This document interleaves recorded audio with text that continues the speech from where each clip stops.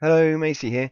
This is New Horizons, the probe I've designed for my new um, Wonders of the Kerbal System series, where I plan to visit every every planet. Um, first port of call is Moho, also probably the hardest to get to, so it's nice to get it out of the way first. Although it didn't quite go to plan. This is a ion-driven ship, only ion-driven. There's no Cheetah RCS thrusters or anything. So I've got here entirely on the power of the sun, if you will, and I've used nearly all of my xenon gas getting here, which created a problem because now I haven't been able to kill enough of my speed as I've come in. This lander module on the top does have the delta V to land in normal circumstances because I have tested it on the moon and and so on. I'm coming in at nearly 3,000 meters a second, and I don't have that sort of delta V.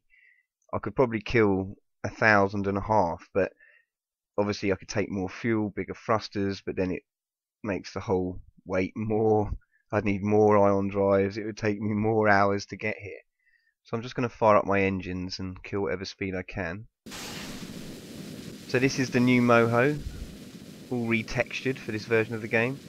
Um, I came here in 0.17 and it wasn't a very pretty world with the sphincter volcano and various other weird anomalies. It didn't really feel like a planet of this sort of mass. It should have been rounder.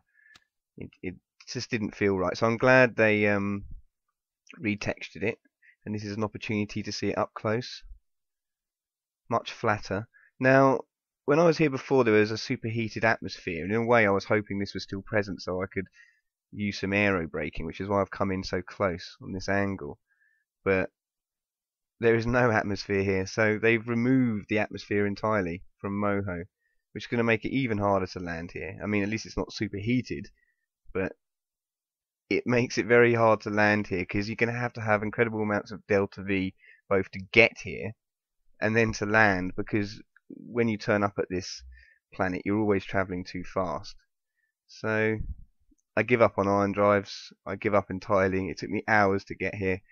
I'm redesigning this with rockets, old school rockets.